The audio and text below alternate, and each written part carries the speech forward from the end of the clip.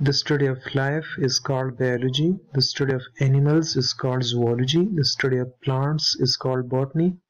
The study of microorganism is called microbiology. The study of internal structure is called anatomy. The study of external structure is called morphology. The study of tissues is called histology. The study of insects is called entomology. The study of cell is called cytology. The study of naming and classification is called taxonomy. The study of defense system is called immunology. The study of embryo is called embryology. The study of heredity, genes, is called genetics. The study of drugs is called pharmacology.